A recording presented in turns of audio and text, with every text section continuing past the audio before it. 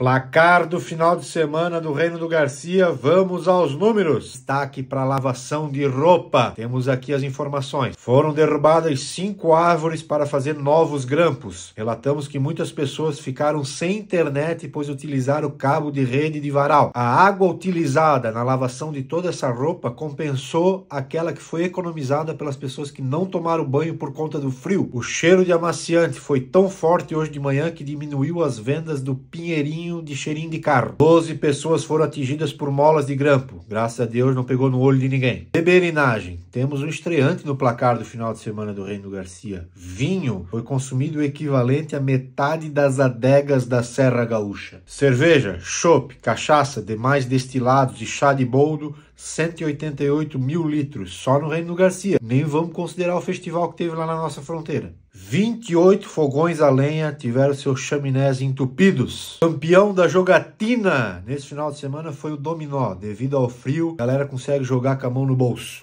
Gastronomia, uma tonelada de pinhão e 458 tachos de feijoada. E a música Disco Voador de Jacó e Jacozinho foi executado 118 vezes apenas no Principado da Nova Rússia. Boa semana para vocês e um abraço da comitiva.